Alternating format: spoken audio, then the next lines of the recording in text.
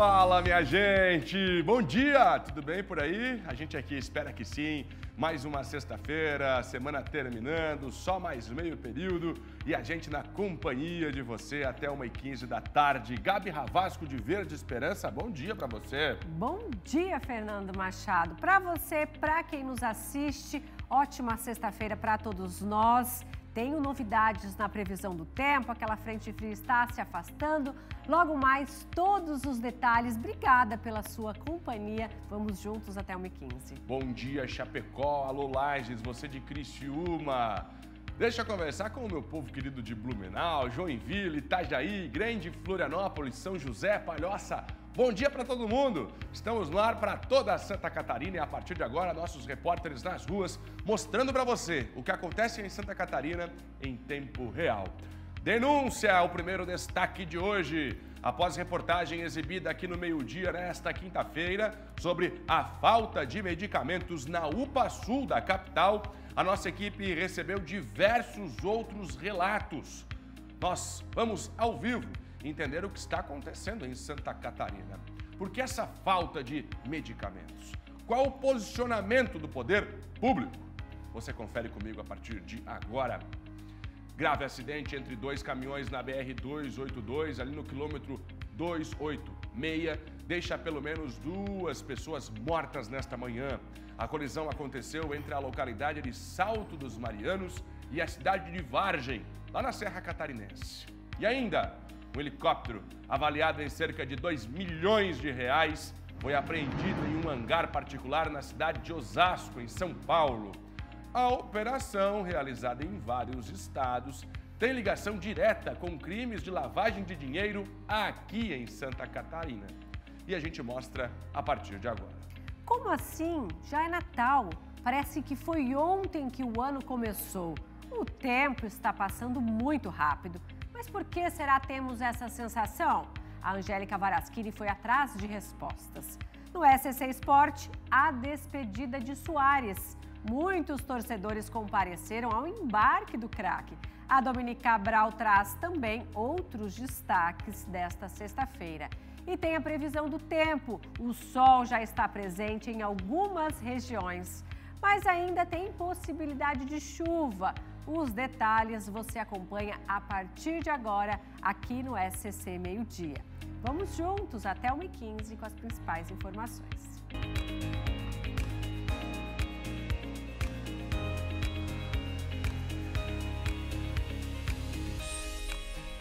Onze trinta e quatro, onze trinta e quatro. Aqui a gente chega antes para você saber primeiro. A gente já vai iniciar antes do esporte com a Dominique a gente vai saber detalhes da previsão do tempo para esta tarde. Então, bora começar abrindo a nossa janela. Chapecó vai aparecer na sua tela. E aí, sem chuva nesta sexta-feira. É isso, Fernando Machado. Imagens ao vivo de Chapecó, no oeste catarinense. A gente percebe um tempo mais nublado, mas a chuva já se afastou de Chapecó e não há mais previsão para chover nesta sexta-feira no oeste catarinense.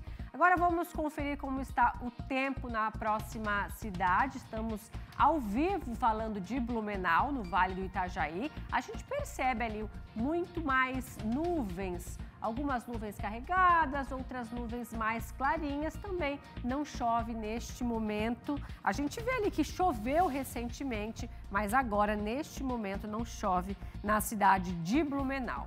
Agora vamos conferir como está o tempo aqui na capital catarinense. Imagens ao vivo de Florianópolis. Também um tempo mais nublado, muitas nuvens no céu, mas não chove em Florianópolis. Um movimento intenso ali na Avenida Beira Mar Norte, nos dois sentidos, bastante movimentada a capital catarinense neste momento. Hoje o sol aparece em todo o estado. Estavam com saudades? Isso, gente, porque aquela frente fria que estava atuando aqui no estado, ela vai se afastar, já está se afastando. E agora um sistema de alta pressão toma conta. Com isso, o tempo firme que estávamos esperando retorna. E já retorna principalmente no oeste catarinense, meio oeste e também aqui na Serra de Santa Catarina. Vale do Itajaí também terá o tempo firme nesta sexta-feira. Já para quem mora no restante do estado, ou seja, litoral catarinense e áreas próximas, ainda há chance de pancadas de chuva ao longo desta sexta-feira. Mas gradativamente essa condição melhora e o sol aparece. Em relação aos ventos, eles sopram aí sul-sudeste com intensidade moderada entre a região de Florianópolis, Baixo Vale e Litoral Norte. Por isso essa sensação de que está um pouco mais friozinho para esta sexta-feira. As rajadas elas vão ficar entre 50 e 70 quilômetros por hora. O mar também fica agitado. Ondas de sul-sudeste, as alturas podem chegar a 3 metros para esta sexta-feira. Em relação às temperaturas, sentiram que diminuíram bem, né? Olha aqui, Sul do estado, máxima de 22. Norte catarinense, máxima de 21, assim como na Serra de Santa Catarina. As maiores temperaturas para esta sexta-feira estão aqui, ó. Oeste e meio oeste, 26 e 24 graus. Daqui a pouco eu retorno com a previsão do tempo completa para hoje e também para o final de semana, para você aí de casa já programar as atividades de sábado e de domingo. Logo mais eu trago essas previsões completas. Agora nós vamos falar de esporte. Dominique Cabral já está chegando por aqui, também de verde, né, Domi? Estamos naquela sexta-feira da esperança. Exatamente. Boa sexta-feira para você. E o que nós teremos hoje? Boa sexta, Gabi. Boa sexta para todo mundo aí de casa. Ontem o Brasileirão chegou ao fim, então o clima hoje é de despedida. Agora pela manhã, o craque Luiz Soares deixou o Brasil e se despediu com muita festa dos torcedores do Grêmio, que, olha, tiveram, é, tiveram muito carinho pelo craque durante esse ano. Então, bora conferir como é que foi essa despedida. O dia começou com despedida. Foi o momento de dar adeus. Soares se despediu hoje de uma temporada de sucesso. Para o uruguaio, férias e descanso. Mas para os torcedores, o princípio de um vazio e saudade que só um ídolo é capaz de deixar no coração dos gremistas. Para que acordar tão cedo numa sexta-feira? Para mim ver o Soares. Mas mais do que números e conquistas, Soares deixa em Porto Alegre a idolatria que só quem fez história é capaz de gerar. Ele botou o Grêmio no lugar onde o Grêmio deveria estar. Ele veio num time que tinha acabado de voltar da Série B, não tinha sido campeão Daí já chegou na estreia fazendo hat-trick e nos deu o vice-campeonato, a vaga direta para a Libertadores. Com certeza virou ídolo. Assim como a sua chegada, a despedida não foi diferente. Soares recebeu o carinho da torcida do Grêmio, que aprendeu a respeitar e admirar seu novo ídolo.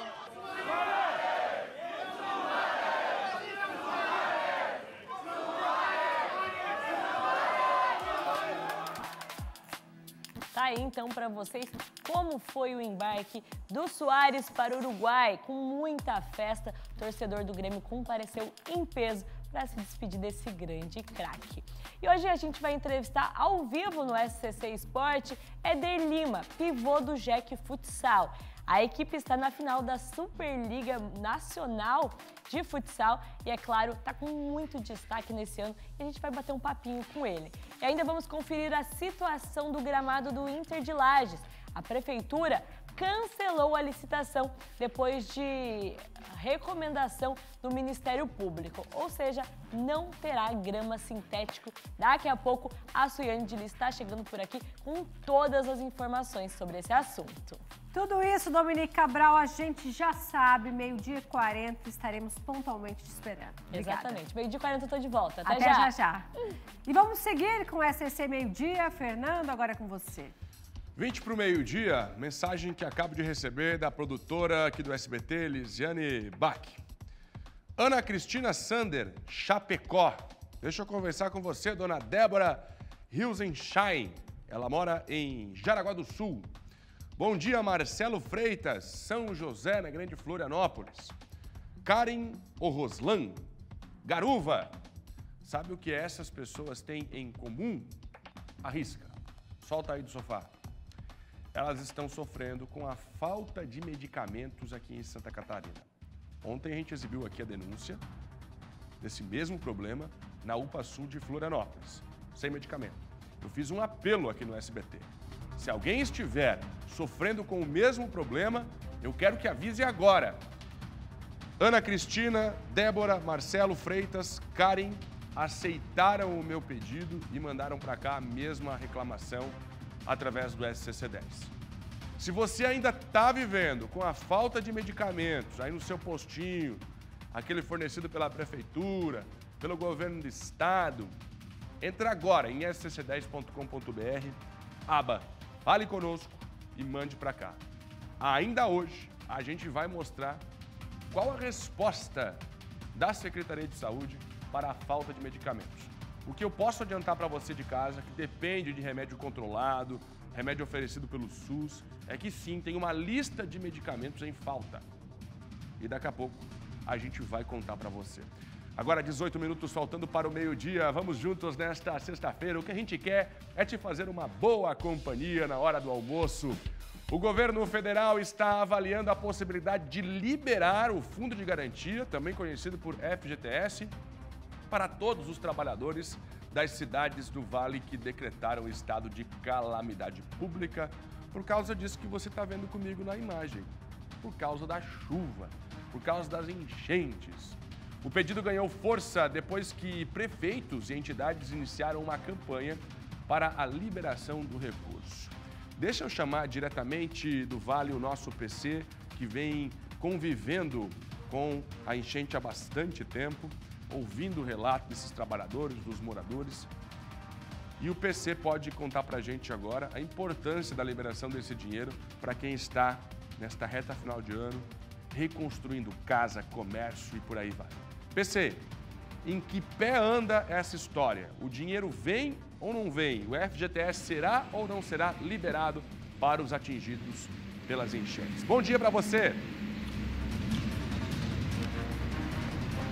Bom dia, Fernando. Bom dia, Gabi. Bom dia a todos. Ó, se depender de mim, tá liberado, viu? Tô na torcida por essa gente que sofreu demais em outubro em novembro. Os moradores da região do Alto Vale, duramente, região duramente castigada pelas enchentes de outubro e novembro. Mas vamos lá. Vamos explicar então. Quatro dias depois do lançamento da campanha FGTS para Todos, encabeçada pelos prefeitos do Alto Vale, organizada pela AMAV, Associação dos Municípios do Alto Vale do Itajaí, os deputados federais de Santa Catarina foram tratar, foram discutir o assunto com o ministro do Trabalho e Renda, Luiz Marinho. O encontro foi realizado nesta quinta-feira em Brasília. Participaram desta discussão os deputados federais do PT, Pedro Pizai e Ana Paula Lima, e o deputado do PL, Jorge Engueten. Os parlamentares catarinenses levaram ao ministro a reivindicação do Alto Vale. Pedido é para a liberação do FGTS para toda a população dos municípios que decretaram situação de calamidade pública. São 14 prefeituras, 14 cidades nesta situação que decretaram calamidade pública. O que, que disse o ministro? O ministro Luiz Marinho falou o seguinte: vai avaliar o assunto e já iniciou um estudo de impacto junto à Caixa Econômica Federal. O governo vai fazer as contas, Fernando, para ver se dá para liberar o dinheiro que é do trabalhador, diga-se de passagem, mas que tem a gestão da Caixa Econômica Federal e é preciso lembrar também que existem regras por lei. O saque emergencial só pode ser feito para moradores que foram efetivamente atingidos por, por enchente. E neste caso, como os prefeitos do Alto Vale querem a liberação, pedem, né, reivindicam a liberação do FGTS para toda a população, será preciso, se o governo federal bater o martelo e atender à reivindicação, será preciso uma medida provisória para liberar o dinheiro. Mas é uma boa notícia, é um avanço. O governo federal sinaliza estuda liberar o FGTS, como confirma a deputada federal de Blumenau, Ana Paula Lima. A Caixa Econômica Federal já fez é, a validação de, e, e, também a liberação dos recursos para 67 municípios do estado de Santa Catarina, do SAC Calamidade, dos trabalhadores que fizeram um cadastro e também é, tiveram as suas casas atingidas pelas águas, mas a reivindicação de alguns prefeitos é que seja liberado para todos os moradores de todos os municípios que foram atingidos pelas águas, independente se a casa uh, foi atingida ou não. É, vai haver um estudo do impacto econômico que isso vai acontecer, porque não é um caso isolado, nós temos que pensar o Brasil como um todo, mas há a intenção do ministro do Trabalho em fazer esse cálculo para o estado de Santa Catarina para poder viabilizar, de repente, um, um recursos que possam atingir esses municípios que foram, infelizmente, foram atingidos pelas águas. Deputada federal Ana Paula Lima, que participou ao lado do Pedro Pizai e do Jorge Engueten dessa discussão com o ministro Luiz Marinho sobre a possibilidade de liberar o FGTS. Então tem um estudo, estão fazendo as contas, mas não foi falado em data, em quanto tempo será realizado esse estudo para ver se será possível liberar o dinheiro para o povo que sofreu com as enchentes em outubro e novembro. E eu volto ao estúdio com você, Fernando, e com você, Gabi. Muito obrigado, PC. Qualquer novidade dessa liberação, chama a gente aqui ao vivo no SBT. PC falando comigo direto de Blumenau. Atenção você que está em Chapecó, região oeste, você da grande Florianópolis, pessoal do norte, região do Vale. Ainda hoje eu vou falar sobre a falta de medicamentos. A gente descobriu aqui que sim, tem medicamentos em falta na rede pública. Mais uma vez eu vou continuar denunciando essa história, assim como fizemos ontem em Florianópolis. Agora, novos moradores aqui de Santa Catarina reclamando. O que diz o governo do estado? Segura rapidinho você que depende de remédio do SUS, que eu vou falar tudo para você. Porque agora é hora da gente falar de um grande esquema de lavagem de dinheiro registrado aqui em Santa Catarina, mas que agora ganhou foco para São Paulo, viu, Gabi? Um helicóptero foi apreendido em um hangar particular na cidade de Osasco, em São Paulo. A aeronave está avaliada em aproximadamente 2 milhões de reais. A operação foi realizada em vários estados e tem ligação direta com os crimes de lavagem de dinheiro aqui em Santa Catarina. O Bastos está com a gente agora, olha só no helicóptero, 2 milhões de reais, dinheiro sujo, dinheiro do crime, dinheiro que não foi declarado.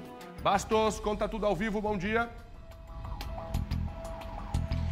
Muito bom dia, Fernando, Gabi e a todos que acompanham o SC Meio Dia. Essa operação denominada Cifra Oculta pela Polícia Civil, então que foi deflagrada na última terça-feira, resultou então nessa apreensão desse helicóptero avaliado em 2 milhões de reais. Essa aeronave estava em Osasco, na cidade de São Paulo, e deve chegar aqui em Chapecó nesta sexta-feira, porque foi realizada essa operação, contou com a participação também de policiais do Saerfron aqui da cidade de Chapecó.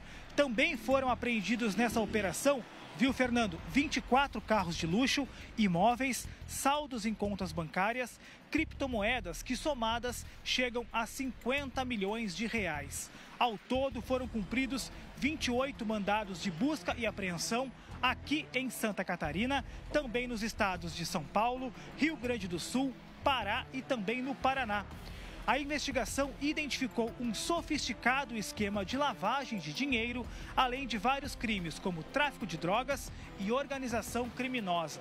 Dentre esses, esses crimes, inclusive investigados, estão a aquisição e utilização de pessoas para movimentação de criptomoedas e de contas bancárias, utilização de pessoas jurídicas fantasmas. De acordo com o Saerfron, aqui de Chapecó, a operação é fundamental para identificar pessoas envolvidas no crime de lavagem de dinheiro aqui no estado de Santa Catarina.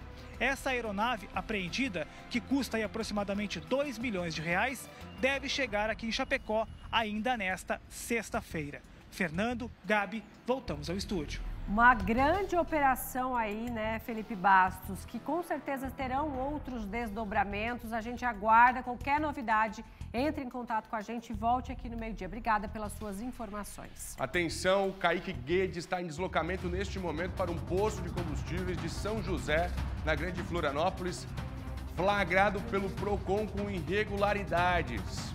A primeira informação que chega para a gente é que o valor e a quantidade de combustível não estavam aparecendo para os consumidores. Uma irregularidade grave, segundo o PROCON.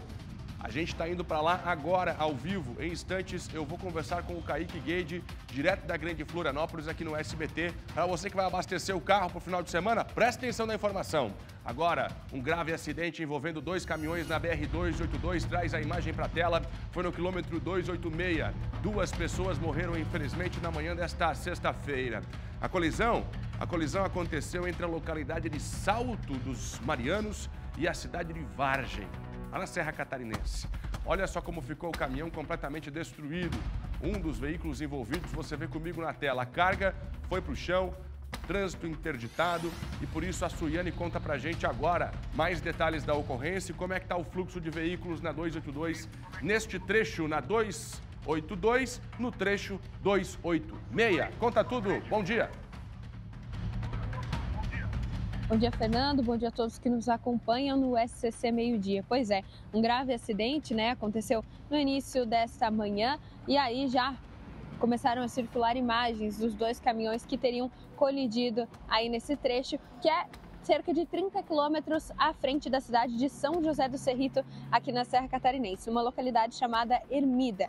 Bom, é, a informação, a princípio, que nós temos é de duas pessoas que já foram confirmadas mortas, mas as equipes continuam no local, as equipes do Corpo de Bombeiros, porque ainda podem ter mais vítimas presas às ferragens. E a informação é de que, por enquanto, o trânsito segue interditado totalmente no local, porque está sendo aguardado um guincho para a retirada desses caminhões que estão interrompendo né, o fluxo na rodovia. Então a informação também é de que seriam dois caminhões, um deles de Orleans e uma das vítimas era um idoso e outro um homem que não se tem a informação sobre a idade, né? E aí, além disso, a outra informação é que seriam dois caminhões carregados, um deles de porcelanato e outro de é, outro carregado de presunto. Então essas informações que nós temos até agora atualizadas, mas como é, eu já ressaltei, as equipes ainda estão trabalhando no local e talvez a qualquer momento pode-se ter mais informações de outras vítimas, infelizmente, né, nesse grave acidente que aconteceu na manhã de hoje. Volto com vocês.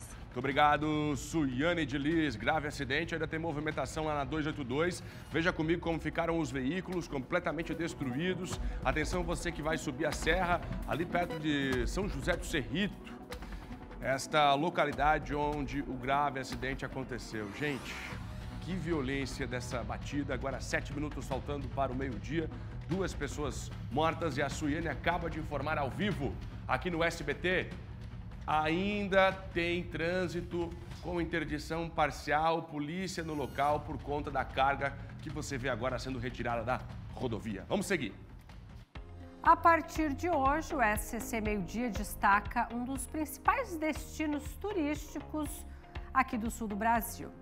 Vamos percorrer algumas cidades e também alguns principais destinos locais e atrações, Fernando Machado. Vamos conhecer a querida Balneário Camboriú. É a série O que Balneário Camboriú tem de melhor. Você, o que arriscaria de palpite? Você que é de lá, dona Gabi Ravasco, qual é o seu cantinho preferido de Balneário Camboriú? Ah, Fernando Machado, é difícil escolher um cantinho só, mas eu gosto das praias, eu gosto também da facilidade de você ir para qualquer lugar a pé, vai para uma loja, vai para um shopping, vai para uma praça, vai para um parque, enfim, são inúmeras possibilidades e é uma cidade bastante acolhedora e maravilhosa, não é à toa que muitos turistas acabam Ô, querendo Gabi, ficar por lá, viu? Eu tenho certeza que tem Muita gente agora me assistindo com memória afetiva de Balneário Camboriú. Me conta aí, será que você fez uma viagem 30 anos atrás para Balneário Camboriú? Hein? Será que você já passou pela cidade no período de Natal com as festas, curtiu as praias, o teleférico, uma memória afetiva, assim, que você busca lá na memória, que dá aquela vontade de viver novamente?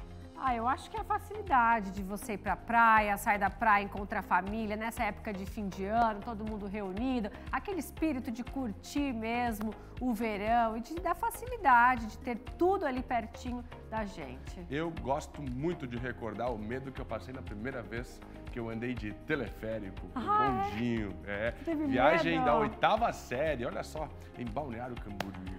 E você, o que lembra? Bom, lembranças são ótimas. Mas o bom mesmo é poder curtir novamente. Balneário está te esperando. E hoje você começa a assistir uma série de cinco reportagens que vão mostrar. É isso mesmo. E hoje na estreia você não pede por esperar, hein, Gabi? Hoje na estreia vamos destacar Balneário Camboriú, destino preferido dos brasileiros, com muita paixão dos moradores e que também recebe com muito carinho aqueles que vêm de fora para a temporada de verão. Vamos conferir então a reportagem de Paulo César e Marcos Fernandes. É olhando aqui de cima que a gente se impressiona ainda mais. É de encher os olhos. Difícil não se encantar. Uma cidade abençoada por suas riquezas naturais e que atrai cada vez mais turistas de todos os lugares. La verdad que tiene una vista panorámica hermosa, inolvidable. Es un sueño cumplido, un sueño hecho realidad. E esse pedacinho de paraíso de Santa Catarina ganhou fama. A cidade se desenvolveu, a construção civil expandiu, atraiu famosos e é hoje uma potência turística e imobiliária, com o metro quadrado mais caro do país, R$ 10.549. Uma terra valorizada e com torres imponentes. Uma cidade que está bem na foto. E olha que a gente já visitou muitos lugares, mas aqui se superou, com certeza. E a cidade também preserva e prioriza seu patrimônio ambiental. No maior empreendimento turístico de Balneário Camboriú, o verde da floresta na montanha dá as boas-vindas para quem vive a emoção de subir pelos bondinhos aéreos. É a Mata Atlântica cercada pelo oceano e sua magia, onde é possível ouvir a sinfonia da natureza. Os mirantes são outro show à parte. O Alisson de São Bento teve o privilégio de conhecer as atrações do local. A sensação é incrível, né? A vista panorâmica, o contato com a natureza, o contato com o mar, pô, vale muito a pena, é fantástico. E se é para mostrar o que Balneário Camboriú tem de melhor, são 10 praias no total. Uma das mais visitadas é a das Laranjeiras. E o turista mineiro, quando viu o mar de Balneário Camboriú pela primeira vez, não teve dúvidas em afirmar. Bom demais na conta.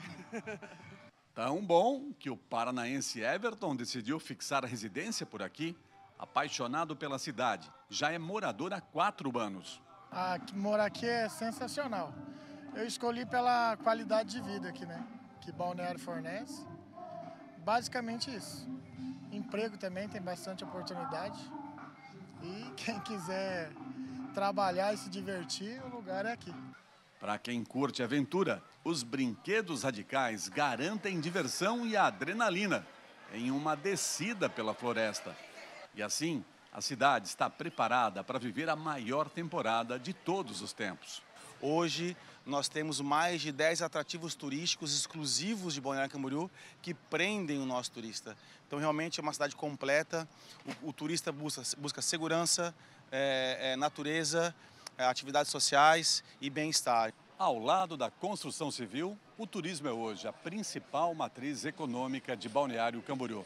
E somente na próxima alta temporada, a cidade deve receber 2 milhões de visitantes. É negável essa terra é destino preferido de milhares de turistas e é a paixão de moradores, de muita gente que não abre mão da qualidade de vida que a cidade oferece. E mesmo quando a cidade fica mais agitada e a mil durante o verão, tem tranquilidade por aqui também. Até mesmo na Praia Central, o ponte principal de Balneário Camboriú, com direito à brisa do mar, sombra e uma mesada de dominó ou bote, à beira-mar para aqueles que preferem um pouco mais de esforço físico. Quem trabalhou uma vida inteira não tem do que reclamar. É o caso deste catarinense de Ponta Serrada, seu Zanata. Está há 14 anos morando em Balneário Camboriú e hoje, o sorriso revela que ele fez a escolha certa. Então vem aqui e se deliciar com as coisas boas que tem nessa cidade. E é o que é, diverte os antigos, os velhos, os aposentados. E eu faço parte disso aqui. É o que Balneário Camboriú tem de melhor. Uma cidade com opções para se divertir, ser feliz e não importa a idade. É uma Balneário Camboriú para todos. Quem vem em visita se apaixona, quem mora ama é um caso de amor à primeira vista, união perfeita. como o Balneário Camboriú e o turismo, que foram feitos um para o outro.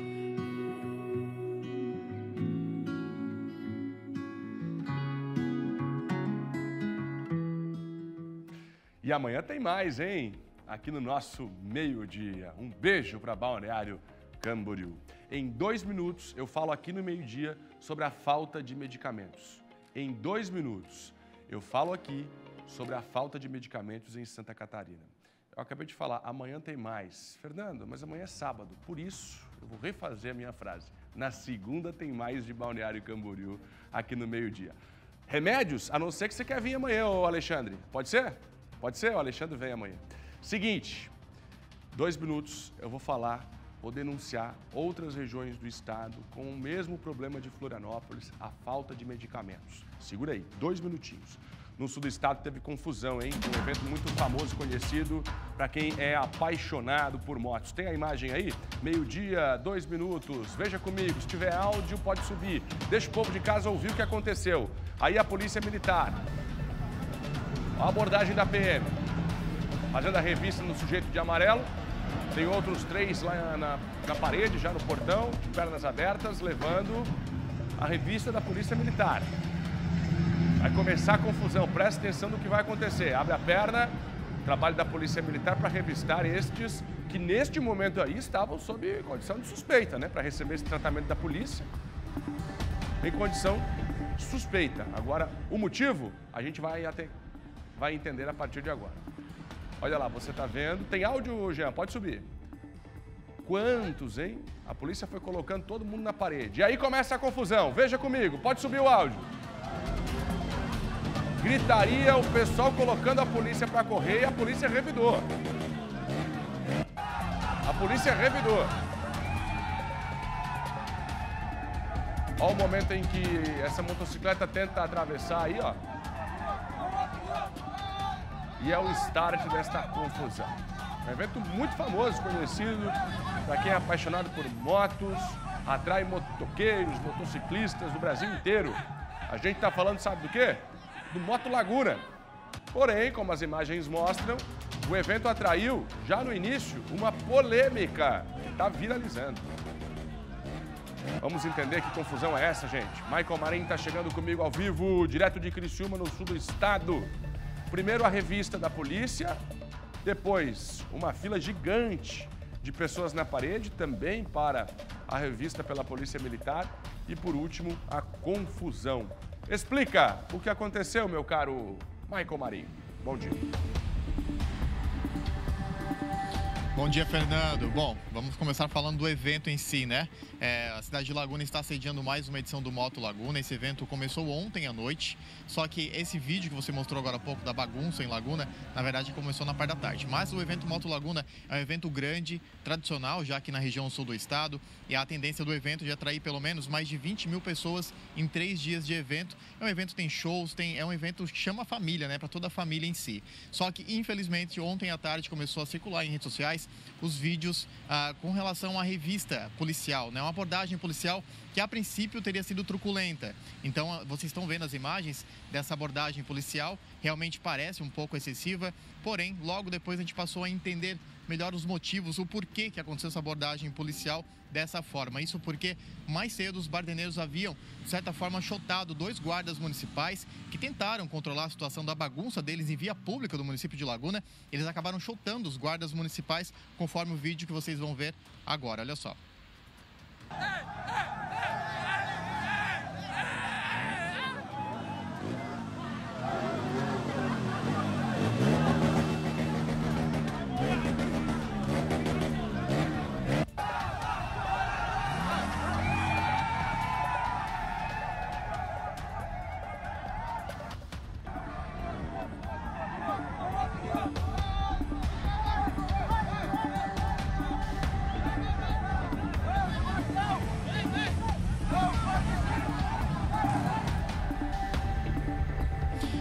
A gente viu, por pouco os agentes da Segurança Pública de Laguna, da Guarda Municipal, não foram agredidos por esse pessoal que fazia arruaça, então, em pleno centro da cidade de Laguna, né?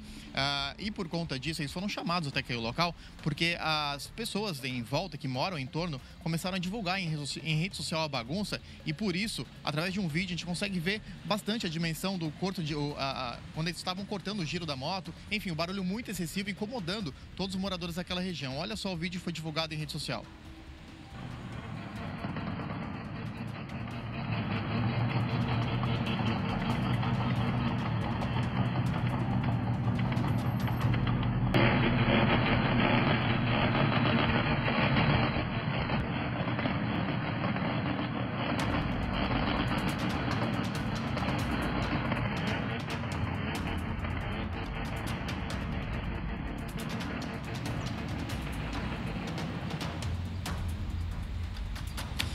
Bom, nós procuramos a Polícia Militar para se pronunciar a respeito da abordagem que a gente mostrou agora há pouco, mas infelizmente a gente acabou não obtendo nenhum retorno por parte da Polícia Militar. Eu procurei também a organização do evento Moto Laguna, que acabou se manifestando, gravou um vídeo para a gente e fala agora a respeito ah, dessa situação toda que foi registrada, infelizmente. É claro, o evento em si, essa baderna aconteceu antes do início do evento. O evento começava às 7 horas da noite, a baderna foi mais cedo, mas o organizador, o presidente da Moto Laguna, acabou conversando com a gente. Olha só esse público, esses arroaceiros que acabaram vindo para participar do evento não, não, não são nosso público-alvo.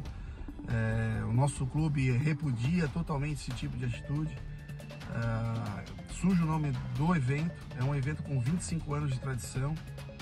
É, a gente é totalmente contra esse tipo de atitude.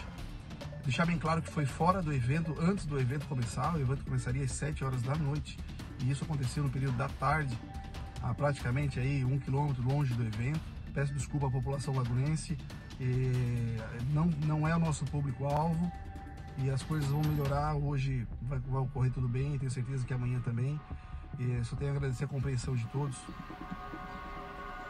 É, na verdade, o que a gente mostrou para vocês agora nesse momento aqui é algo que parece um pouco irracional, na verdade, né? O que a gente acabou presenciando nessas imagens. Então a gente vai continuar acompanhando, ver o que vai acontecer de fato. O evento segue até sábado. Agora sim deve ter uma organização melhor por parte da segurança pública do município de Laguna, que com certeza vai reforçar os trabalhos pelaquela região. Eu volto ao estúdio contigo, Fernando. Obrigado, Maicon Marinho. Muito obrigado pela participação aqui. Bota de novo a imagem. Você tem policial militar em casa, não? Filho, marido, sobrinho, neto. Presta atenção no que eu vou falar aqui. Bota comigo a imagem. Pode filmar e mandar para eles. Pode filmar e mandar para eles. Bota comigo a imagem aqui rapidinho. Bota a imagem comigo aqui. Comigo. Meio dia oito. Qualquer vídeo hoje que aparece a polícia militar viraliza na internet, as críticas começam sem ninguém entender nada. Sem ninguém entender o contexto tudo é polícia agressiva. Quem é que dá a cara a tapa para enfrentar bandido ou ter que lidar com vândalo para garantir a segurança de você que está em casa? Aí pega o vídeo, tira de contexto, viraliza na rede social, sobra para a Polícia Militar. Ah, Fernando, mas então quer dizer que a Polícia Militar está acima de qualquer coisa? Claro que não.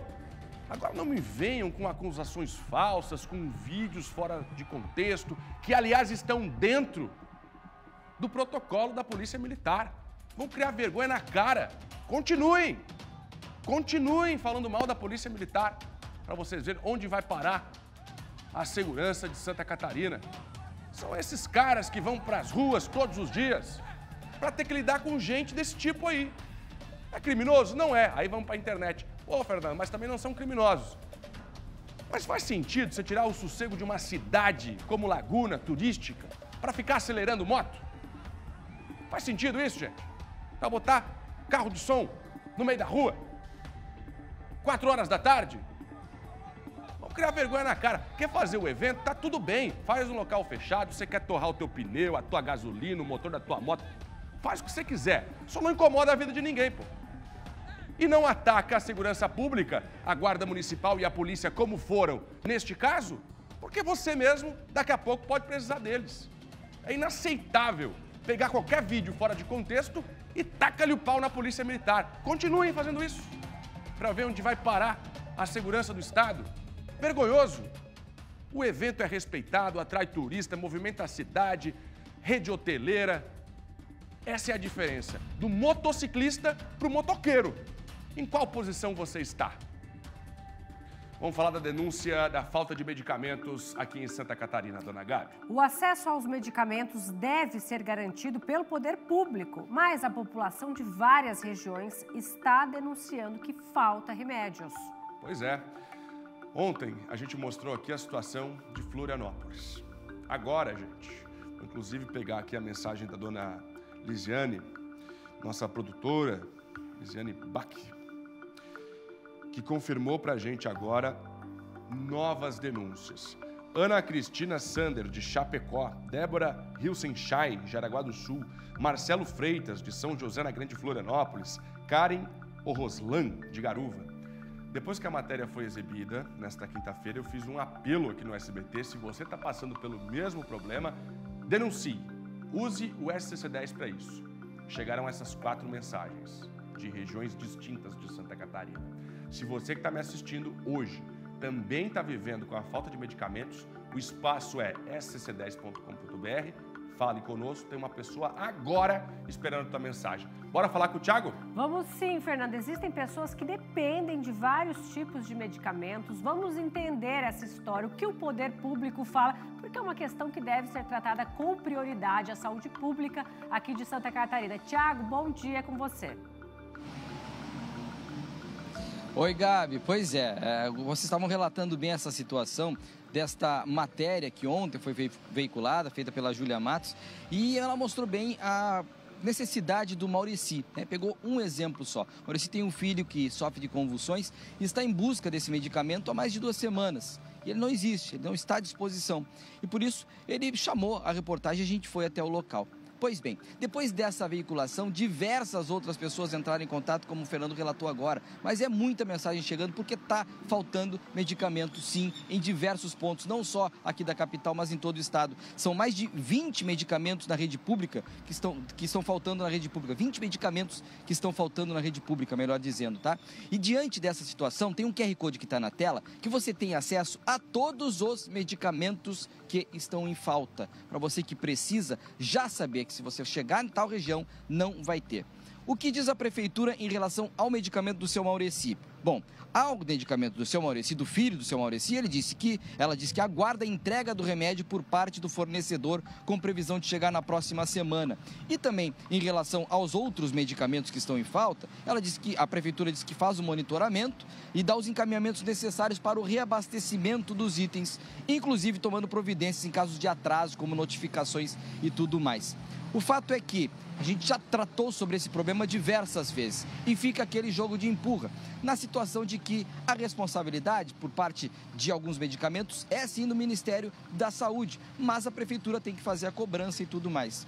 Fernando, Gabi, nós entramos em contato com o Ministério da Saúde, já sabemos que esse medicamento, semana que vem a Prefeitura diz que está aqui. Está errado? Tá. Mas já deu a notificação de que estará por aqui. Agora, o Ministério da Saúde é que nós queremos ouvir. E esses outros remédios? Quando está previsto? Porque algumas ocorrências, diz inclusive na nota, que existem licitações desertas licitações desertas para compra desses medicamentos. Mas aí eu pergunto, Fernando, para tantas coisas existem compras emergenciais? A gente já viu tanto. Será que a saúde não é uma delas? Será que as licitações desertas elas são justificativas para que pessoas que precisam, que necessitam desses medicamentos, fiquem sem? Bom, aí entra o Ministério Público, aí entra mandar comprar o remédio, só que até tudo isso andar, embora seja um pouco mais rápido que a licitação, demora também. Enfim, Ministério da Saúde ainda não respondeu sobre, as nossos, sobre os nossos, essa nossa, é, esse questionamento sobre esses medicamentos, esses 20 que estão faltando, que é por competência do Ministério da Saúde. A gente está aguardando ainda, viu? Mas fica ainda a pergunta: será que não pode comprar emergencialmente isso? A população continua sofrendo. Quem paga é sempre a população, né, Fernando? Muito obrigado, viu? Tiago Pires, direto da Policlínica Municipal no Centro. A denúncia de falta de medicamentos vai agora. Se tiver o site, pode colocar aqui, Jean. scc10.com.br. É só clicar na aba Fale Conosco, deixa lá o seu nome, a cidade e a mensagem. Fernando, está faltando remédio X, está faltando remédio Y. E a gente vai buscar respostas assim como estamos fazendo para esses casos que já chegaram por aqui. Vamos seguir com SCC Meio-Dia. Imagens impressionantes mostram um ônibus em chamas na cidade de Joinville. Você confere as imagens desse incêndio, a gente percebe um grande volume de fumaça, um fogo também consumindo todo este ônibus. Esse incêndio aconteceu na tarde de quinta-feira e vamos tentar entender se alguma pessoa ficou ferida, como isso aconteceu, se esse veículo estava em funcionamento, se estava estacionado. Vamos chamar para dividir tela comigo a repórter Jade Olímpio, que chega com outras informações ao vivo para a gente aqui no meio-dia. Jade, com você. Bom dia, Gabi. Bom dia, Fernanda e a todos que nos acompanham ao vivo aqui no SCC Meio Dia.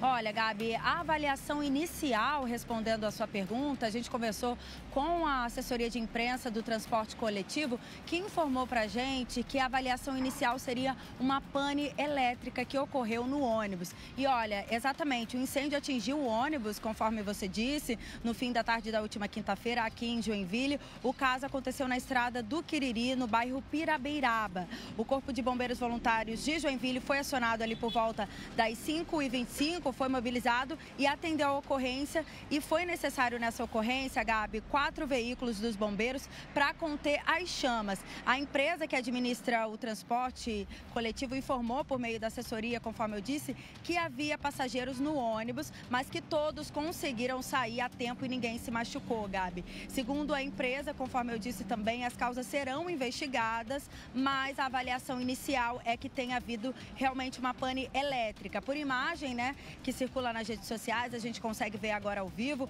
é possível confirmar que o veículo ficou completamente destruído por conta dessas chamas. A gente vai seguir acompanhando sem feridos e também a avaliação inicial é que houve pane elétrica. Eu volto com você, Gabi. Que susto, hein, Jade? Por sorte, ninguém ficou ferido nesse incêndio. Quando a gente olha uma imagem de um ônibus pegando fogo, a gente imagina que estava estacionado alguém fez isso mais uma pane elétrica com pacientes, com pessoas dentro. Eu imagino o susto que essas pessoas não passaram. Por sorte, todas bem. Obrigada pela sua participação. Logo a gente volta a conversar. Meio-dia 18, vou pedir a sua atenção, você que está na Grande Florianópolis. Nesse momento tem polícia, tem PROCON, tem um posto de combustíveis flagrado com irregularidade. Você vai abastecer seu carro?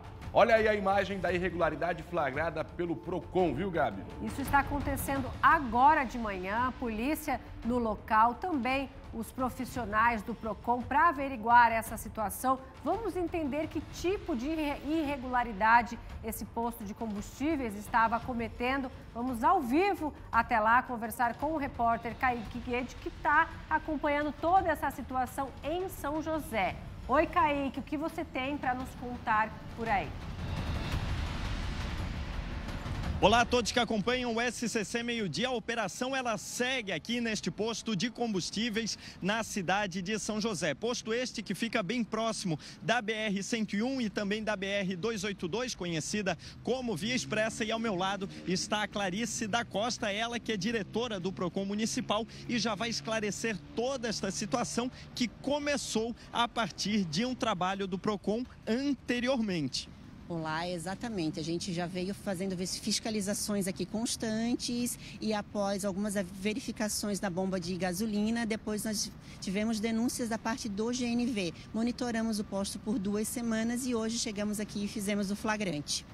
Nós podemos observar aqui que a bomba ela está lacrada, a bomba de GNV está lacrada e o trabalho, além da participação do PROCON, ele conta com a Polícia Civil, isso porque a partir de agora segue uma investigação. Doutor Galeno, responsável por este trabalho aqui no posto de combustível de São José, como acontece agora, acontecem os trabalhos, o inquérito policial?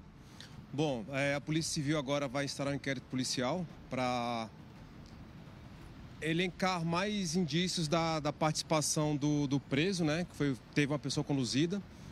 Foi apreendida uma certa quantidade de dinheiro. É, ele já confessou, já contou como, é, foi, como funcionava esse esquema. E agora nós instalamos inquérito policial. Outras provas vão ser é, coletadas para a gente poder finalizar isso e poder responsabilizar os culpados, né? Por esse golpe que, que está sendo dado por toda contra toda a coletividade para que o pessoal de casa possa entender, portanto, o que acontecia aqui. Havia a bomba de GNV, o gás natural veicular, aqueles carros movidos a gás. A pessoa chegava para abastecer e tinha um preço fixo. o gás ele não era medido em quantidade, valores por esta bomba. É, realmente. É... Os motoristas de Uber, né, já sabiam desse, desse, desse esquema tanto é que quando a gente chegou aqui, tinham diversos já esperando para serem abastecidos os veículos.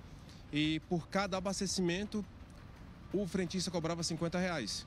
Independente do valor ali, da quantidade, isso era o preço tabelado ali, fixado ali. E a quantidade em dinheiro que ela foi apreendida, citada pelo senhor, também é, ela tem um diferencial, né? Porque ela estava, de certa forma, escondida e em uma mochila. É, realmente, a gente conseguimos localizar essa mochila. Tinha esse valor, como eu já tinha falado antes. Um dinheiro bem picado ali, várias notas de 50 reais que caracterizam bem o que ele tinha nos contado, né?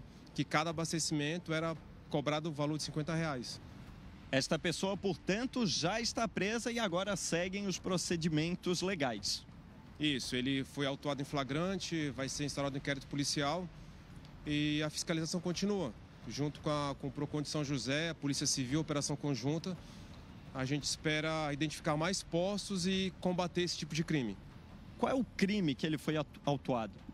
Bom, crime contra o consumidor. É, foi encontrada certa quantidade de droga também. Vamos ver se ele vai ser autuado em flagrante por tráfico de drogas. Enfim, são diversos crimes, né? E agora, durante a sexta-feira, a tarde de sexta-feira, a gente é, vamos concluir esse inquérito policial. Antes de nós encerrarmos, Clarissa, eu gostaria que a senhora fizesse um alerta aos consumidores, aos motoristas, para que, acaba, que acabem não caindo em situações como esta. Como o doutor Galeno ele acabou de adiantar, a pessoa chegava, pagava um valor fixo e não sabia se estava realmente recebendo por aquilo que pagou. Então, gostaria que a senhora falasse, desse algumas dicas. Sim, exatamente. Assim, o consumidor, sempre que for abastecer, ele fique atento ao visor da bomba, verifique se realmente está correndo ali a quantidade de litros, para ter certeza que o valor que você está pagando está entrando no seu tanque. Né? Então fique muito atento. E sempre que houver alguma coisa que você desconfie, nos procure, faça denúncia, porque hoje a gente só está conseguindo né, combater essa fraude aqui graças a várias denúncias que nós recebemos.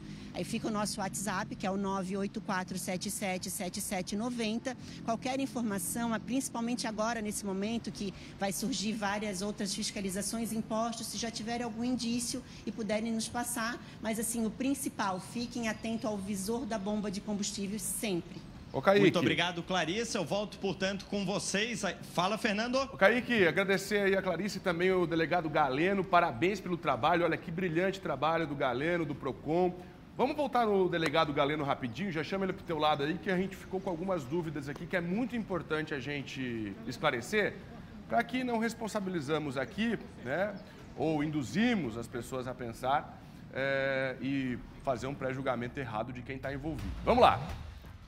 O que, que restou de dúvida para a gente? Quem é que está envolvido nesse esquema? É o dono do posto ou é o frentista contra o posto?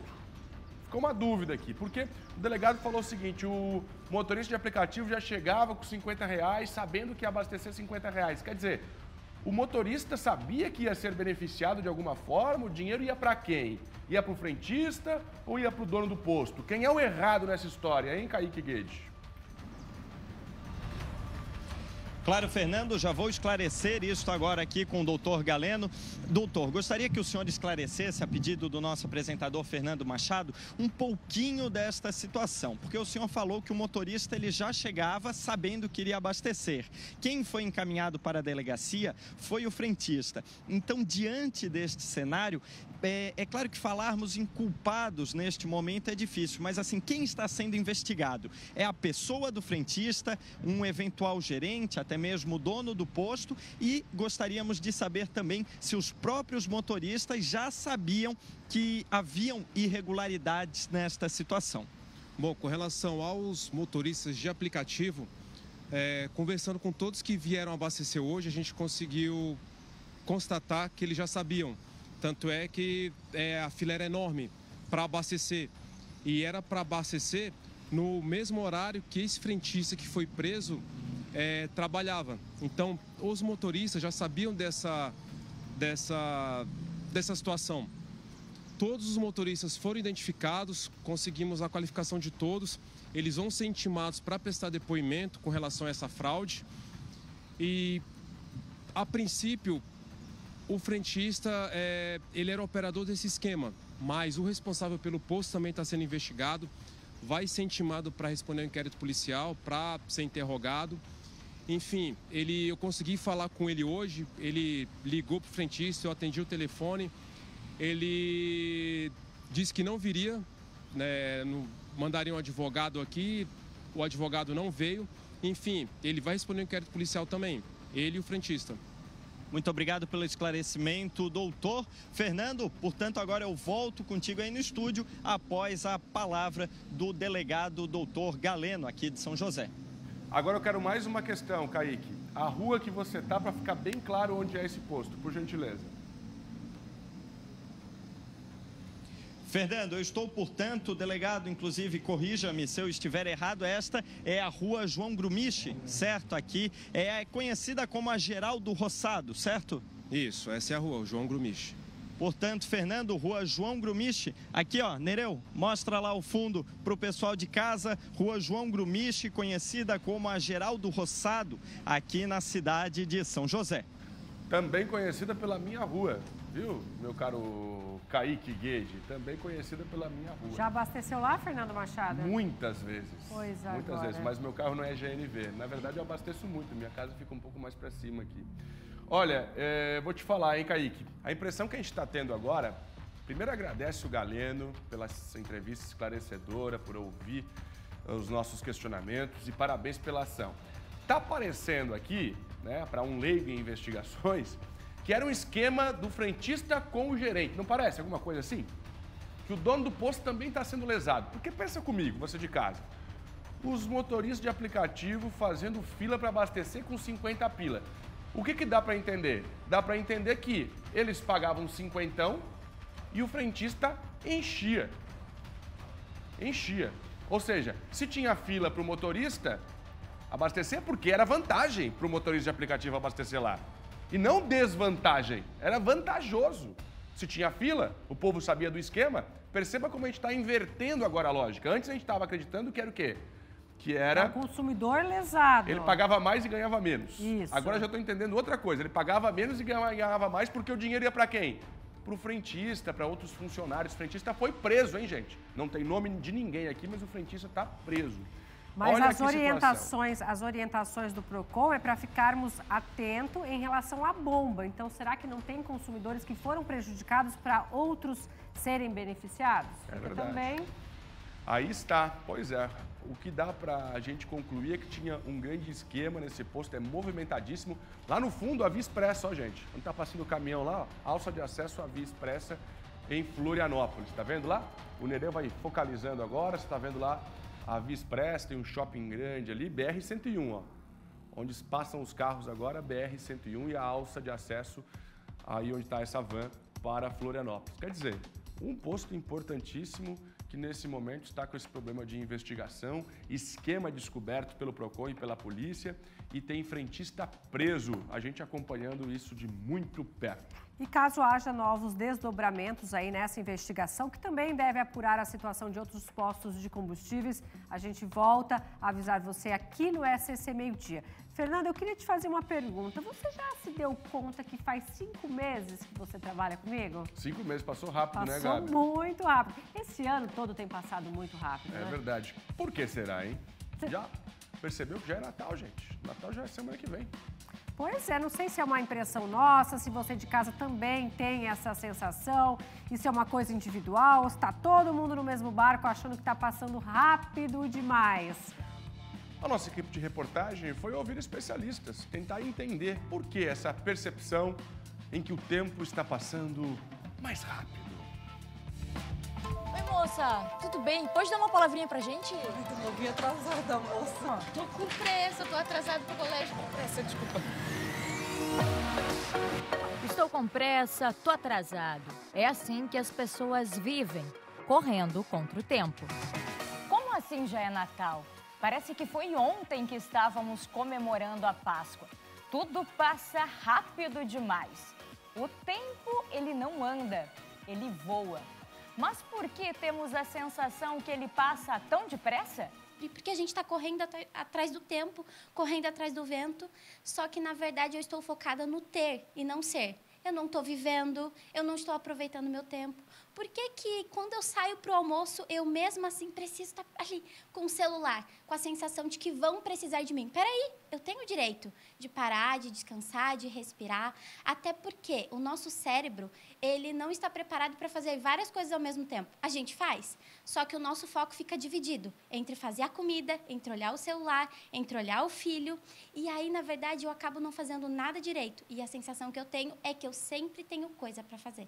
Na rua, isso se confirma. Já estou com 31 anos e eu trabalho há 9 anos no mesmo lugar. E ontem mesmo eu estava conversando com minhas amigas. Já estou aqui há 9 anos, entrei tinha 22 e estou com 31, duas filhas, uma de 15, uma de 2 anos.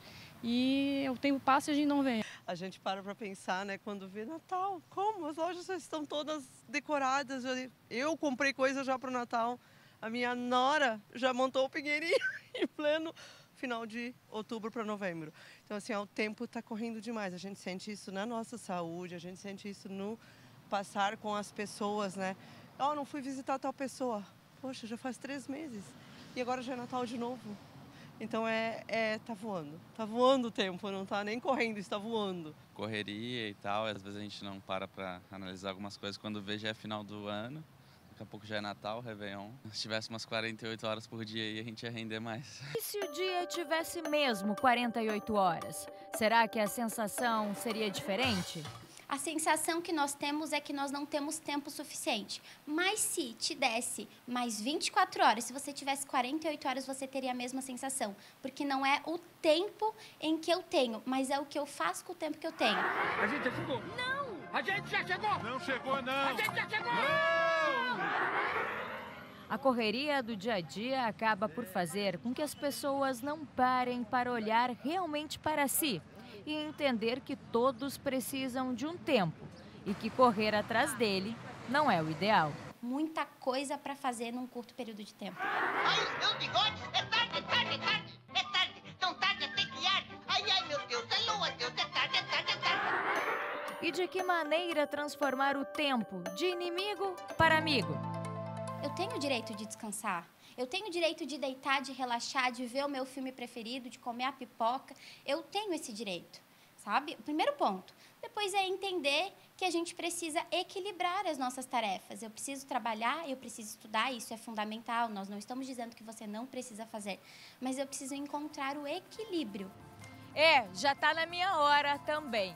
Mas fica a dica para que possamos olhar muito mais para as coisas ao nosso redor e para nós mesmos, e muito menos para o relógio. Assim, com certeza vamos aproveitar muito mais a vida e o tempo. Boa semana!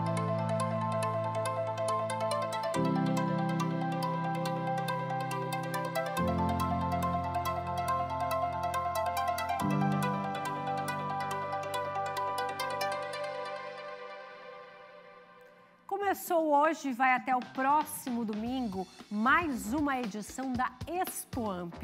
O evento que reúne empresários associados da AMP, a Associação de Micro e Pequenas Empresas de Blumenau, é uma ótima oportunidade para troca de experiências e que, e que pretende criar um ambiente favorável aos negócios. Vamos ao vivo conversar com o nosso homem de negócios, o querido e abençoado PC Direto de Blumenau, que vai nos mostrar essa feira e explicar melhor para a gente o que tem por aí, né, PC? Boa tarde. Boa tarde. Não é Black Friday, não é torra-torra, nem liquida tudo, nem fecha portas. São os produtos que fazem parte da nossa história, produzidos pelos talentosos artesãos da cidade e que estão aqui em um shopping da região norte da cidade, expondo seus produtos em mais uma edição da Expo Amp. Vamos mostrando, e olha o detalhe, olha só, Gabi Ravasco, você já viu, vamos mostrar para todo o estado. papel higiênico natalino. Aqui tem também. Olha cada detalhe, olha o capricho, olha que cada coisa bacana, presentes. E essa é a época do ano para presentes, decoração, artigos, artesanato de primeira, acima do ótimo. Tem aqui na Expo Amp. Vem comigo, Marcos Fernandes, porque aqui, ó, desse lado. Gabi, você topa um licor fino de maracujá, folha de figo, nossa senhora, nossa senhora, pêssego, café, morango, banana, butiá, Fernando, coco, chocolate com avelã, licores finos, cerveja, que mais aqui? Equipamentos para estética. E aqui está ele. Nesse espaço aqui eu tenho a bancada das entidades que prestam serviços aos associados da AMP, a Associação das Micro e Pequenas Empresas, que é a entidade que organiza a Expo AMP. E esse evento tem esse objetivo: dar oportunidade, gerar oportunidade de, de, negócios aos associados. E o que mais, presidente? Boa tarde. Boa tarde, PC, telespectadores. É, a gente quer, além de dar oportunidade aos associados a colocar suas virtudes empresariais em voga, né, numa exposição, a gente quer dar entidades de suporte. Aqui tem o Sebrae, aqui tem o Senac, aqui tem o Senai, aqui tem a Praça do Empreendedor, que é da Secretaria de Desenvolvimento Econômico e Inovação. Então, é, a gente quer dar exatamente isso, suporte ao empresário. Ou seja, informação, prestação de serviço, orientação para abrir, abrir empresa. Exatamente. Na Praça do Empreendedor que está aqui, você pode vir tirar qualquer dúvida com relação à tua empresa.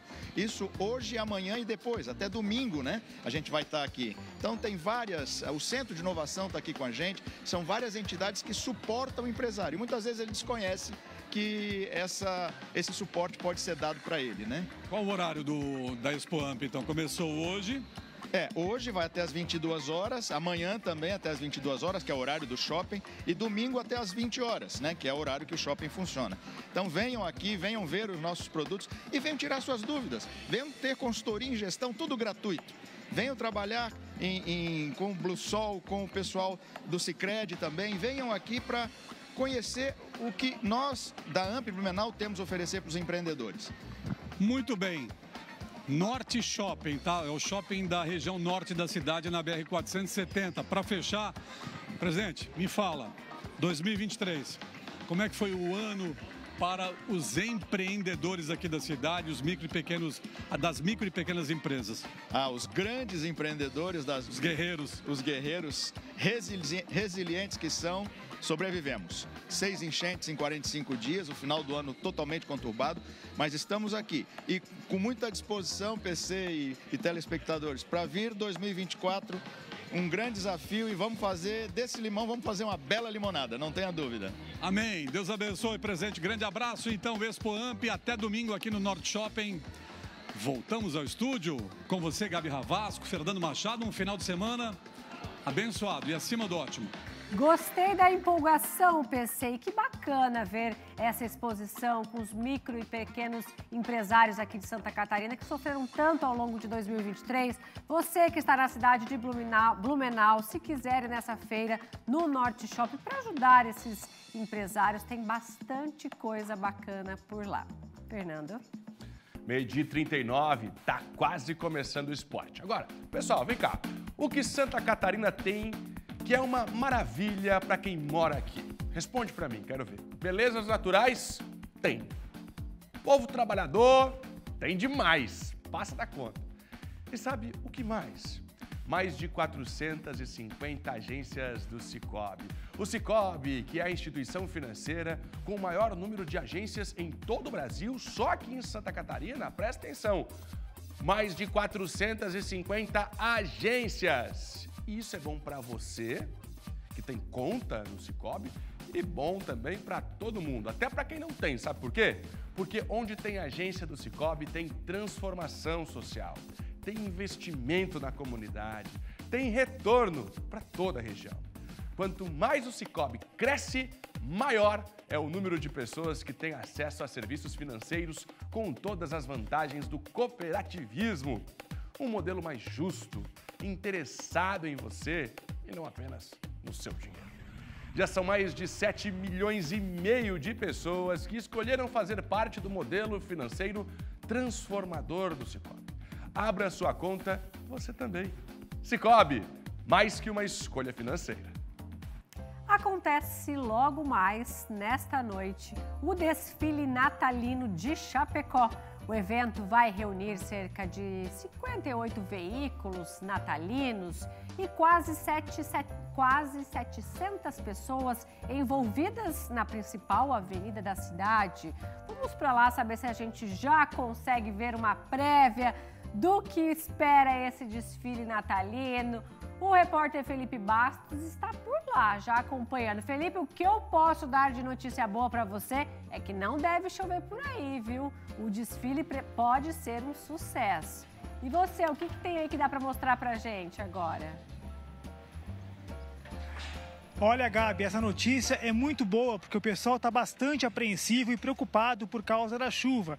Nesse momento tem um vento bem forte agora aqui, mas se tu falou que não tem previsão de chuva, então o pessoal pode vir para cá. Desfile que começa a partir das sete e meia da tarde no calçadão aqui da cidade, percorre as principais ruas pela avenida, principalmente Getúlio Vargas, e vai terminar aqui, na frente da catedral, onde está sendo montado nesse momento o palco para a apresentação do grupo Soul, Soul Art aqui de Chapecó, que vai fazer o encerramento desse desfile natalino, viu? Cerca de então 700 pessoas devem participar do desfile, que vai contar ainda com pelo menos 18 entidades.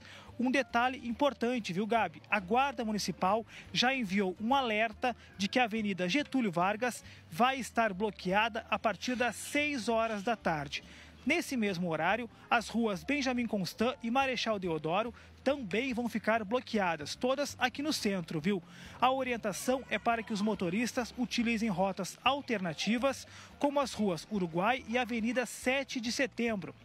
Essa vai ser a segunda edição do desfile natalino.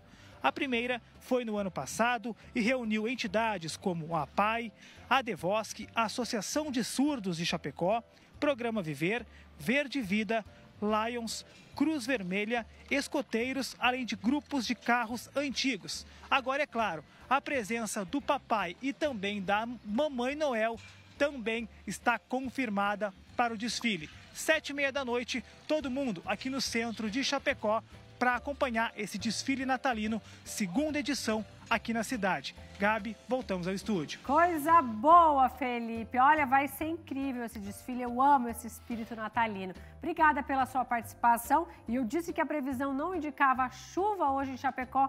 Vamos conferir então como fica o tempo em Santa Catarina.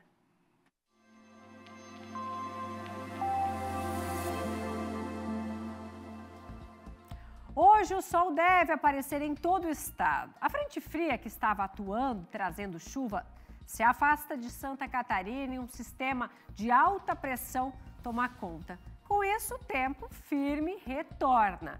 Principalmente já retorna para o oeste, meio-oeste, serra e também no Vale do Itajaí. Já para quem mora no litoral catarinense e áreas próximas, ainda há chance de pancadas de chuva ao longo desta sexta-feira. Mas gradativamente essa condição melhora e o sol volta a aparecer para todo o estado. Os ventos sopram de sul-sudeste com intensidade moderada entre a região de Florianópolis, Baixo Vale e Litoral Norte. As rajadas ficam entre 50 e 70 km por hora. Já em relação às temperaturas, elas não sobem tanto como nos outros dias. A gente pode perceber o meio-oeste, 24 graus, e oeste catarinense, máxima de 26 graus são as maiores temperaturas desta sexta-feira. No restante do estado, um tempo mais ameno. Sul do estado, 22 graus, Grande Florianópolis, 23, Vale, 23, 24 graus, perdão, Vale do Itajaí, 23 graus. Norte, Serra Catarinense, máxima de 21 graus. Para amanhã, sábado, o dia será marcado por bastante nebulosidade. O sol aparece sim, tem muita gente me perguntando do sol no fim de semana. Sol pode até aparecer no sábado, mas muitas nuvens, principalmente do meio-oeste em direção ao litoral e norte do estado, por conta da umidade que vem do oceano e joga para o continente. Nessas regiões, não se descarta a ocorrência de chuviscos e passageiros. Em relação ao mar, segue agitado no sábado. É muito importante a atenção de pequenas e médias embarcações entre o litoral sul e a Grande Florianópolis. Em relação às ondas, também teremos picos aí de 2 metros de altura. Já as temperaturas para sábado, a máxima, as máximas, elas vão variar entre 20 e 26 graus, mínima, as mínimas entre 11 e 13 graus, vai ser um pouco mais ameno.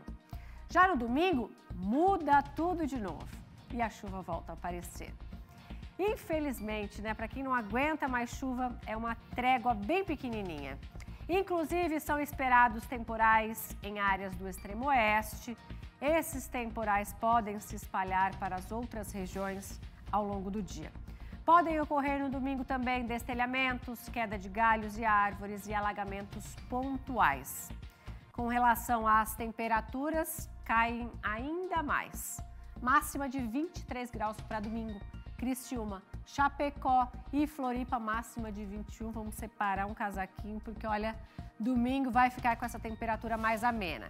Joinville e Blumenau, máxima de 19. Joinville chegou a fazer mais de 30 graus essa semana. 18 graus Joaçaba, 17 graus São Bento do Sul e 16 graus para a cidade de Lages, na Serra Catarinense. Chegou a hora do esporte.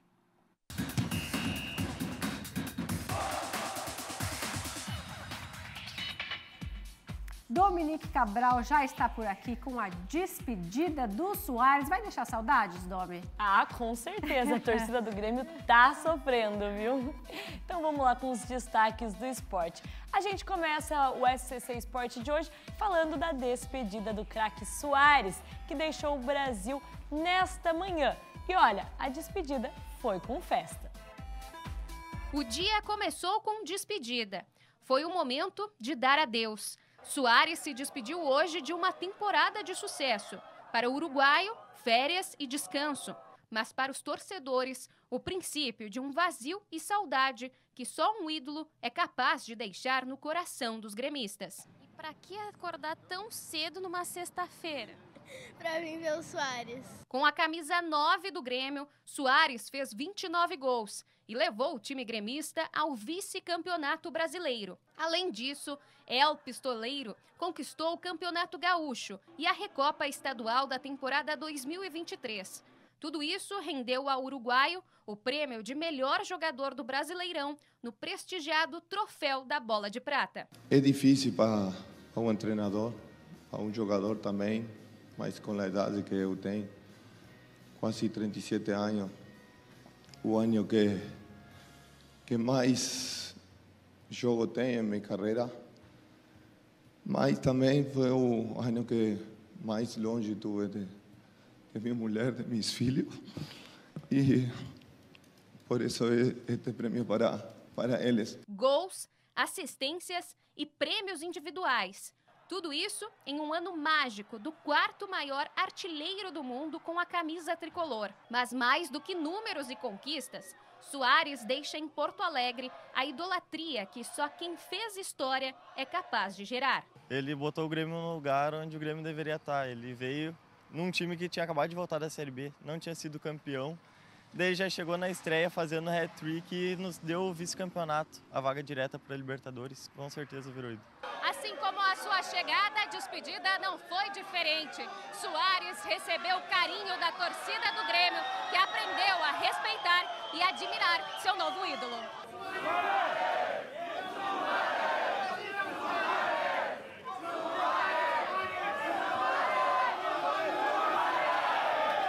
Para 2024, Soares não vai mais vestir a camisa 9 do Grêmio. A direção gremista promete encontrar um novo reforço para a disputa da Libertadores. Ainda assim, para o torcedor, ficarão as lembranças de um ano mágico e a dúvida sobre o futuro do ataque tricolor. Ah, é muito difícil botar um jogador no lugar dele, né? Ai, não sei, porque vai ser muito difícil substituir ele.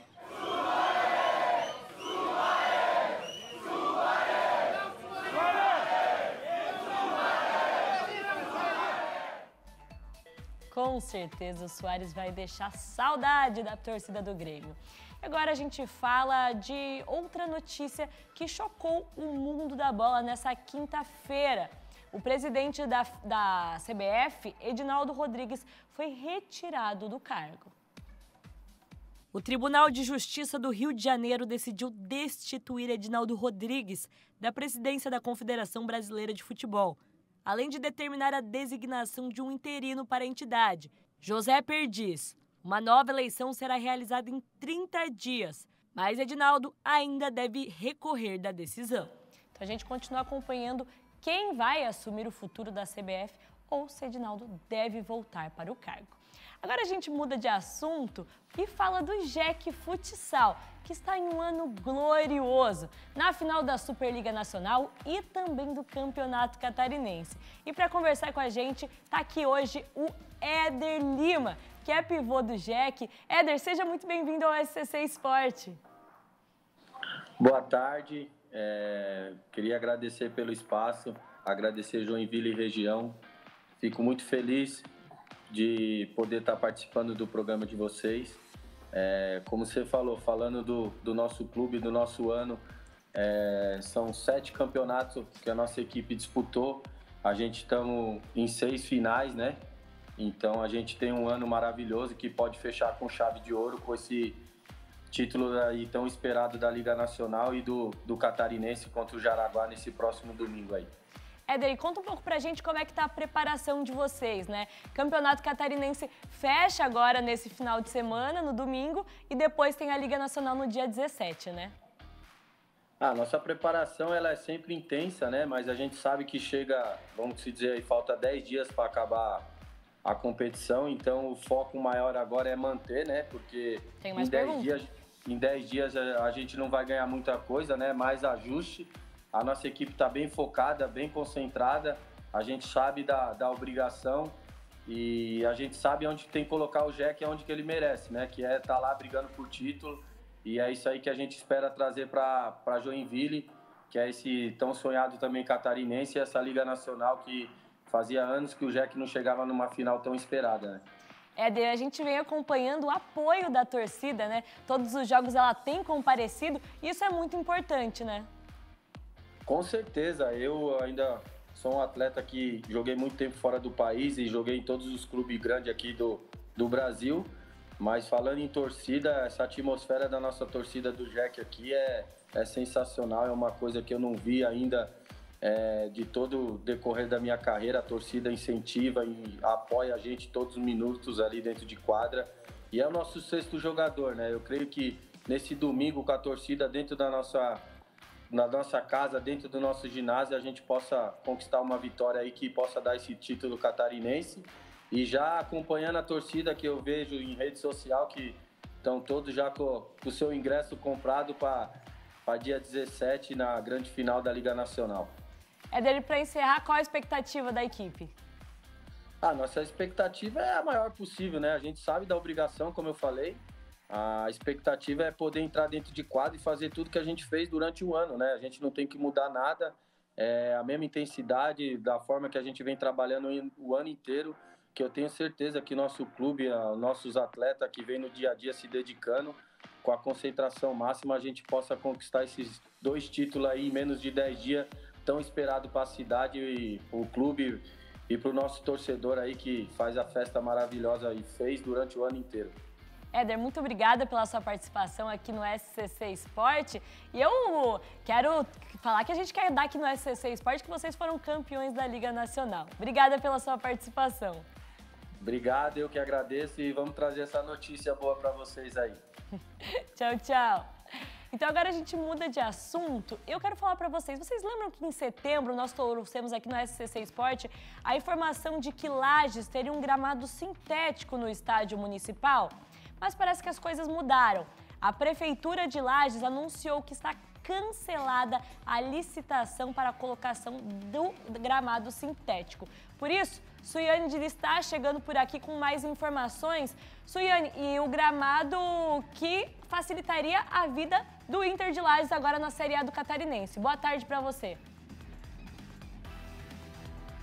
Boa tarde, Domi. Boa tarde a todos que nos acompanham. Pois é, né? A situação ficou mais complicada agora para o Inter de Lages conseguir jogar na Série A né, do Catarinense, que ele passou justamente para o ano que vem, mas agora o futuro é muito incerto. Isso porque a licitação sairia nessa semana né, para a revitalização aqui do gramado, ia ser colocada grama sintética, também a iluminação ia ser trocada, ia ser uma revitalização completa aqui do estádio municipal. Mas aí veio uma recomendação do Ministério Público para que fosse cancelada essa licitação a partir de uma denúncia do Observatório Social de Lages.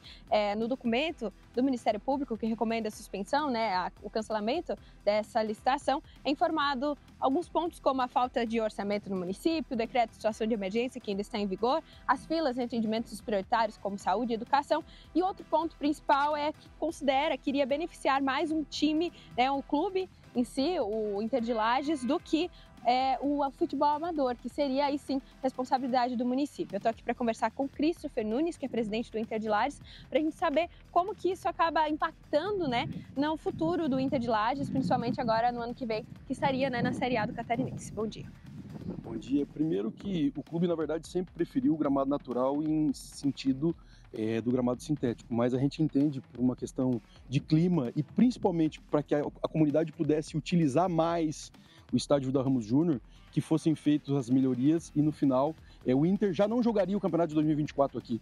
Hoje as obras não têm condição de ser é, finalizadas até é, é, o início do campeonato ou até o meio do campeonato. Então, a gente entende que essa obra atende muito mais o futebol amador, a comunidade, que de certa forma vai poder utilizar muito mais do que com gramado natural, que aí sim, com gramado natural, fica uma preferência de uso pelo clube. É, eu acho que, de uma certa forma, a gente precisa entender o que está acontecendo, é, se preocupar, porque, na verdade, isso aqui é uma questão pública e a gente é, é, tende, no final, a, a, tentar buscar junto à prefeitura é, um entendimento, quem sabe, para que nos próximos anos a gente pudesse voltar a utilizar o Tio Vida.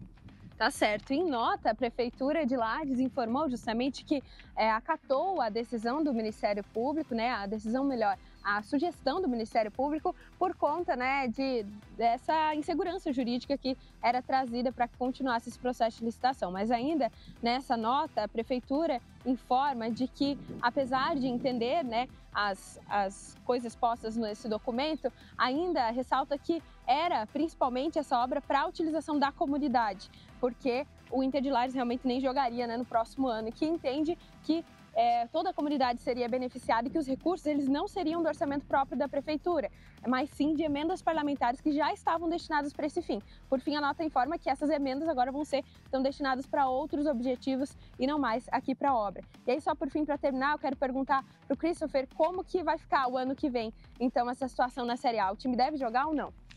Se eu tivesse que te responder hoje, eu diria que não. A gente, na verdade, preferiria não jogar o campeonato diante de tantas circunstâncias. Mas o Inter entende é, a importância dessa obra para a comunidade, para a cidade. E o Inter sempre foi motivo de alegria para essa comunidade, para essa sociedade. Se nesse momento o Inter está atrapalhando um processo, se uma entidade privada de tantas décadas está é, tá atrapalhando esse momento, o Inter prefere se recolher à sua casa, se licenciar, não seguir em atividade, mas que aí possibilite a prefeitura de fazer a obra e no final de tudo não ter é, nenhum tipo de, de, de, dúvida em relação ao direcionamento é, por conta da questão do clube. Eu acho que realmente a comunidade precisa receber essa obra e se o Inter nesse momento vira um problema, o Inter prefere se recolher para sua casa e deixar com que a comunidade siga que a gente tem aqui no palco do Tio Vida as alegrias do futebol amador. Tá certo, muito obrigada então pela entrevista. Cris oferece a informação, então, a princípio, se a situação continuar essa, o Inter de Lages não deve jogar o catarinense né, na Série A no ano que vem. Volto contigo. Obrigada, Suiane, pelas informações. Então tá aí uma notícia bombástica né, do Inter de Lages nesse momento. Era isso por hoje, Dominique Cabral. Por hoje era isso. Boa sexta-feira, bom fim de semana. Boa sexta-feira, Gabi. Bom final de semana. Agora tem intervalo.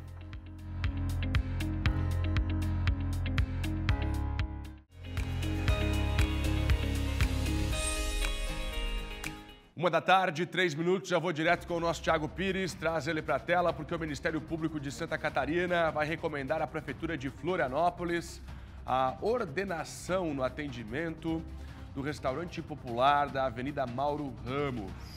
O espaço estaria sendo alvo de inúmeras ocorrências policiais sanitárias e desordem. O que, que significa isso na prática, hein, Tiago Pires? Bom dia. Bom dia, Fernando. Exatamente. Essa é a grande preocupação do Ministério Público, que está diante de denúncias, de boletins de ocorrências que vem se tornando aqui muito frequente aqui na frente, principalmente na espera da abertura pela manhã, para o café da manhã, meio-dia e à noite. Fernando, eu conversei agora há pouco aqui com uma professora dessa escola aqui ao lado do. Pode pedir, pedir para ela filmar. Bem aqui ao lado tem uma escola. E a professora estava me relatando que seis e meia da manhã, frequentemente, para não dizer diariamente, ela chega por aqui, não consegue entrar na escola. Os, as pessoas que estão aqui esperando para tomar um café estão brigando, muitas vezes consumindo né, bebida alcoólica, drogas, brigando com as pessoas que chegam para deixar os filhos na escola. Isso aqui, ó, o que tá, vocês estão vendo nas imagens é o que está acontecendo aqui em frente a um local que é exclusivamente para refeições, para aquelas oficinas que acontecem. Com isso, o Ministério Público entrou em cena, não aceitando a desordem né, que está este local.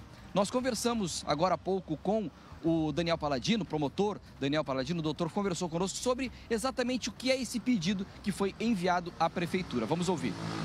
Nós queremos que situações tais quais a gente vem recebendo denúncias quase que diariamente, brigas dentro do restaurante, nos arredores também, na entrada, é, furtos, né? É, perturbação à vizinhança, é, filas quilométricas na entrada do restaurante que prejudicam a circulação e a mobilidade de pessoas, né? problemas de vandalismo né, e depredação do equipamento, né, como nós tivemos notícia ontem, de que a tubulação de água ela foi quebrada e furtada, inclusive causando problemas de abastecimento. E uma das medidas que nós entendemos que possa ser adequada seria o encaminhamento de pessoas em situação de rua que usam aquele espaço para a passarela da cidadania. É, Fernando, a prefeitura ressaltou a importância do restaurante popular para toda a população de Florianópolis, isso não, a gente não tem dúvidas quanto a isso, mas realmente está uma desordem causando muitos problemas. Não vamos aí generalizar, mas a grande maioria realmente está causando problema e o Ministério Público está em cena e agora a gente vai aguardar a manifestação da prefeitura tão logo receba essa recomendação do MP. Volto contigo, Fernando. Muito obrigado, Thiago. Vou direto para a redação do SCC10, traz a nossa Beatriz Agnes para a tela detalhes das notícias que repercutem em todo o Brasil e aqui em Santa Catarina. Conta pra gente, Beatriz. Bom dia. Bom dia, Fernando. Bom dia a todos. Fernando, eu quero começar o destaque de hoje te fazendo uma pergunta. Pode ou não fazer pipoca na airfry? Sabe me dizer? Ah, daí você tá quebrando comigo, né? Pipoca na airfry? Poder pode, né? Poder pode, mas... Será? Será? Não tem Será? Vamos saber agora. Eu já vi esses dias o pessoal fazendo pipoca na chapinha. Apareceu um vídeo pra mim na internet aí, fazendo pipoca na chapinha. Você já viu um negócio desse? Não, bota o milho e a pipoca estoura. E aí, dá ou não dá? Já vi esse vídeo também. Não, daí a Bora air fryer lá. daqui a pouco ela não, não precisa mais nada em casa, né? Tu tem uma air fryer e resolve todos os teus problemas. Sim, tá tudo feito. Olha, Fernando, eu fiz essa pergunta porque uma receita de pipoca feita na airfry tá viralizando na web. Vídeos mostram pessoas testando a receita, mas os resultados variam. Alguns dão certo e outros nem tanto. O SCC10 entrou em contato com marcas que fabricam airfry para entender qual a recomendação para o preparo da pipoca no aparelho. Uma marca esclareceu que não indica o preparo, pois pode danificar o sistema interno da airfry. Mas outras receitas deliciosas podem ser feitas no aparelho, como rabanada, churrasco, entre outras, e essas receitas você pode conferir em SCC10. Então, Fernando, infelizmente, não pode fazer pipoca na airfry. Olha, lá em casa, depois dessa panela elétrica aí, air fryer é marca ou air fryer é, é, é o nome do objeto? Eu não sei mais, eu não lembrei. Mas enfim, esse negócio aí que tu bota lá resolveu minha vida, tá? Foi bom demais. Até comida pros cachorros a fryer dela lá em casa. Ela faz tudo. Chega em casa, a casa tá limpa. Olha, vou te falar, vou te apresentar o meu modelo de air fryer pra tu ver o quanto ela resolve tudo. Vamos lá, próximo assunto.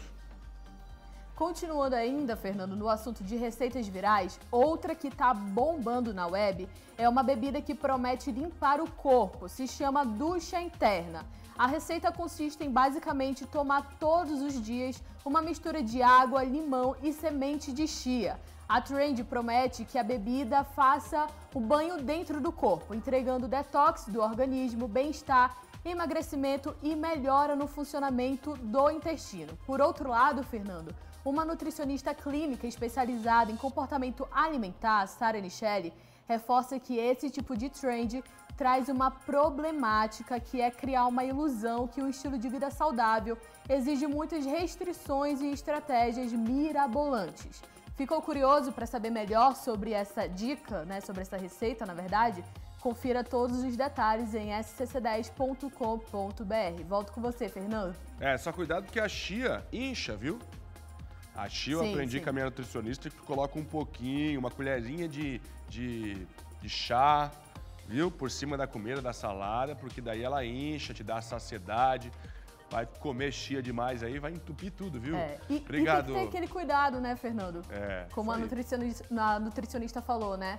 Tem outras formas de emagrecimento, mas essa trend aí também tá viralizando. Tá viralizando e você vai conferir agora em scc10.com.br. Muito obrigado, Beatriz Agnes. Eu vou para um rápido intervalo. Segura aí.